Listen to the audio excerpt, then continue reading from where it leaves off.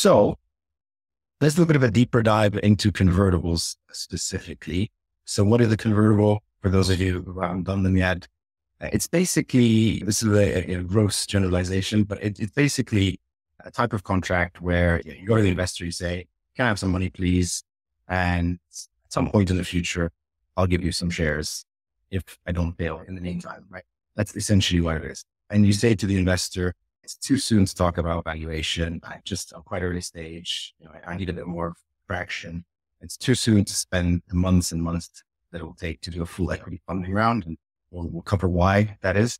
It's too soon to spend all that money as well on lawyers going through a, a full equity funding round. And it's too soon to distract me uh, as a founding team with governance, full board, and all, all, all, all, that stuff that comes with an funding round. Let's not waste time.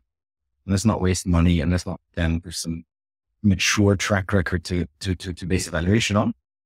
Just give me the money and, and wait until I grow to the point where I pick up all of these things and go to the market and get a evaluation for my uh, but obviously, I understand that's more risk for you uh, as an investor. So in return, I will give you typically a couple of things. One is I'll give you a discount on that future round. Uh, so when I do go to the market, whatever my value is, you get a discount to that. Typically it's 20%, can vary. And then on top of the discount, I'll also give you uh, what we call valuation cap, which is to say, yes, it's 20% to whatever value I'm going to be when I do the round, but up to a maximum X dollars. And the reason you do that is things go gangbusters for you since you signed the convertible and the business skyrockets. The investor and their capital were part of that and you need to share the upside in that kind of high upside scenario beyond just the discount. So if you're hitting up against the valuation cap, effective discount, of course. So if you're raising at double the valuation cap, the investor's converting at an effective discount, 50%, not 20. So that's basically it in a nutshell. Give me some money, wait for the business to grow. Hopefully I'm successful. If I am, I'll give you some shares and I'll give you some economic compensation via the cap and the discount for the higher risk and going in early, time value of money, all that. And then there's a couple of other things that go around that depending on how you structure the convertible. So you could have certain convertibles that say there's a time period and at the end of it, you have to repay me. That's terrible for startups because the money's of course gone. But a traditional convertible loan would technically work like that. It's very rare to see that. Or you could have a twist on that, which says there's a time limit of two years. If you don't do a round, maybe you will repay me, but maybe just, yeah, I can force you to give me shares. So that's what we call conversion rights. Okay. And a little more reasonable, but also quite problematic because the whole point about waiting to do a full equity funding round you'll see what's involved in that is to flesh out not just evaluation, but to flesh out a whole bunch of governance terms and investor the DA terms. To flesh that out with a lead who's typically a VC, who's typically hiring lawyers. It's a process at the end of which you have a set of documents with a certain governance framework that then all the convertible holders tag to essentially by saying, I'm going to just sign up for the same terms.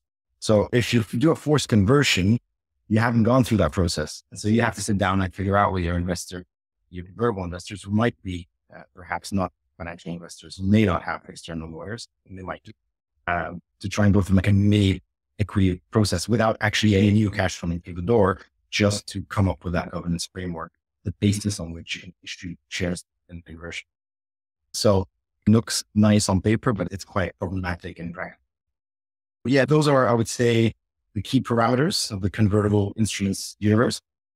And in terms of the types of convertibles or the name that you might see out there, obviously there's the convertible loan, and then you'll hear the SAFE, which stands for simple agreement for future equity.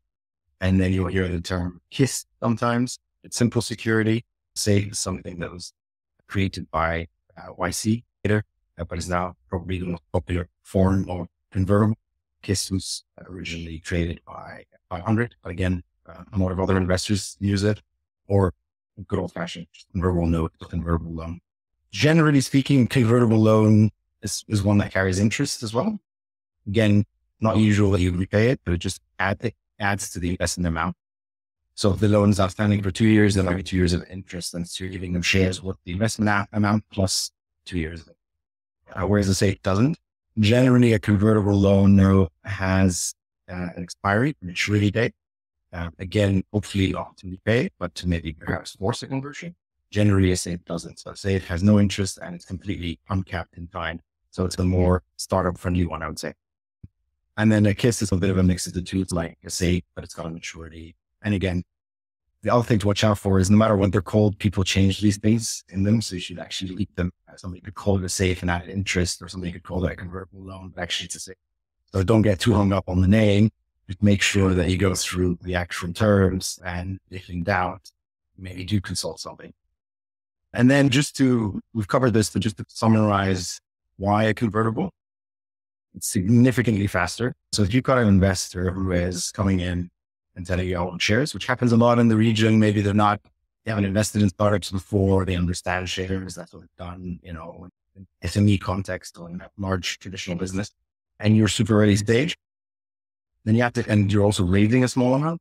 You have to explain to them that an equity, if I give you shares, it's going to take anywhere from three to six months.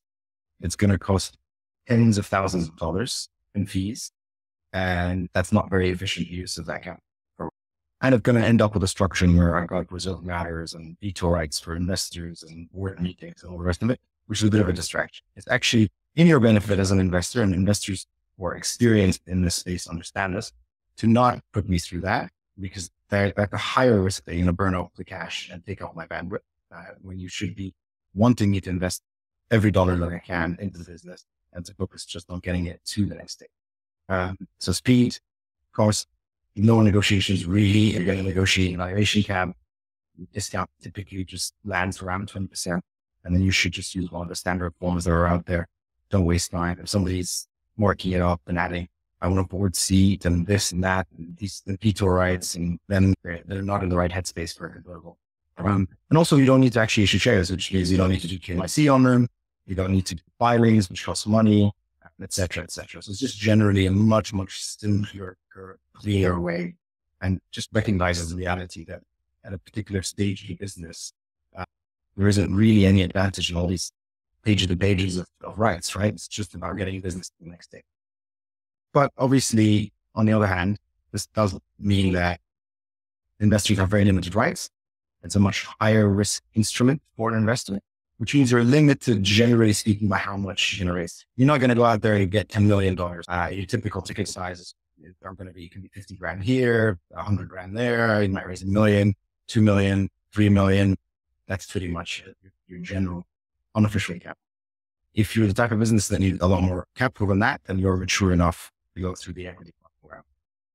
There's also potential for material dilution because you're not solidifying your dilution at the time you're issuing those convertibles. It all depends on the valuation you get in the next round, and you can't control that. So you can find yourself in a situation two years down the line when you go around all of a sudden you've given away 60% of your capital or something like that. I say that raising money on convertibles is like spending on a credit card. And if you don't keep an eye on it, you get a nasty bill at the end. So it's easy to find these things and see the money go in, but you have to keep an eye on, run a scenario, simple scenario modeling. If I do an equity round at this valuation, I've raised this much, and this is the cap and this discount. What does that look like? What's my dilution as a founder? And make sure that you stay within a sensible range and don't overdo it convertibles. And remember, this is a valuation cap. There's no valuation bar, right? But you raise that a million dollars, they're still getting uh, their shares at eight hundred thousand dollars. They're twenty percent discount. So it all depends on valuation. Next one. And then there's the misunderstanding amongst the parties because you're not going through that process fleshing out those terms. Now you actually have to do that later. So you're kicking the can down the road on what the investment terms are. But over the whole, over the whole, I would say there's really no reason not to raise funds by convertibles if you're early stage business. I think it's a waste of time for all the reasons you mentioned to go through an equity funding round. All right. Um, so we've gone through, gone through all these concepts. So that's convertibles.